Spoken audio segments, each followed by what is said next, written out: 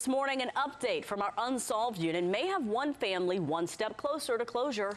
A man found dead on a Galveston County beach three years ago has now been identified. A DNA lab in the woodlands called Othram identified him as 24-year-old Calvin Mbabo.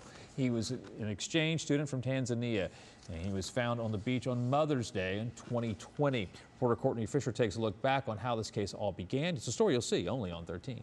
It was Mother's Day 2020, not a cloud in the sky. Look at those crime scene photos. It had started out as the perfect beach day anyway. Where did this individual come from? Officer Danny Simpson was one of the first on scene. It was just a gentleman, water, sand. We didn't know anything. The dark skinned man had no ID. On his body, these Calvin Klein briefs and black swim trunks. The evidence photos never shared publicly until now.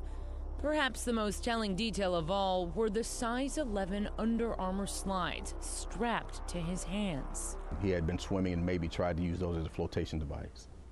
Almost someone trying to stay alive, someone to get to shore? That's what I would believe, yes, ma'am. An autopsy later revealed that the man had likely drowned. He was in his 20s, about 5'5, but who was he? The current likely brought him in from the direction of the Bolivar Peninsula, according to the U.S. Coast Guard. Detective Simpson thought he'd eventually get a call from someone looking for this man. Nothing. Months passed, the case went cold, and then the phone rang.